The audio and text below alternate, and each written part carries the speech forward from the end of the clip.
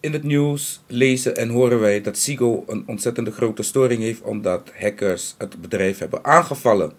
U kunt niet het internet op. In dit videootje zal ik u snel laten zien hoe u weer het internet opkomt door simpel een DNS-server van Google toe te voegen aan uw verbinding.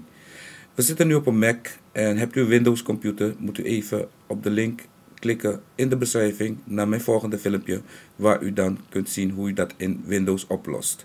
Dit is voor Mac gebruikers. Ga naar uw wifi instellingen, rechtermuisklik en open Network Preferences.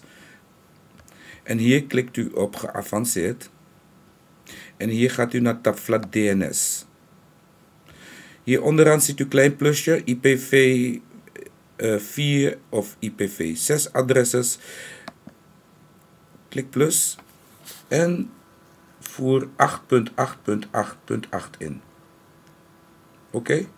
Klik dan op oké. Apply. En als het goed is doet internet het weer. Kijkt u maar even.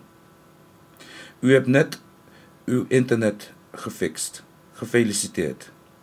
Nou, veel plezier en hopelijk krijgt u werk uh, toch nog eventjes uh, op tijd af.